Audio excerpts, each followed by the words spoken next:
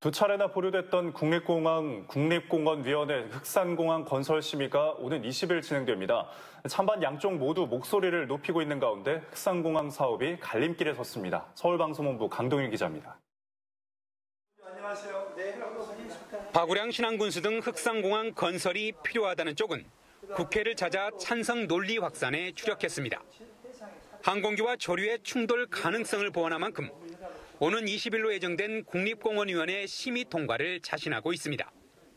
극소의 지역의 훼손을 통해서 사실은 흑산에 그동안 36년 동안 국립공원 지역으로 묶여서 불편을 받았던 사람들에 대한 최소한의 국가적인 배려 아니냐.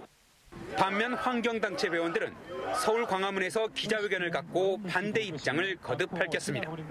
흑산공항 건설 사업 계획은 그 자체가 국립공원의 심각한 환경 훼손을 유발하고 과도한 수요 예측으로 예산 낭비를 초래할 것이 분명한 사업이다. 흑산공항 사업은 지난 2009년부터 본격 추진됐습니다.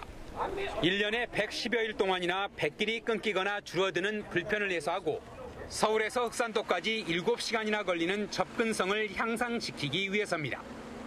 하지만 환경훼손 우려가 발목을 잡았습니다.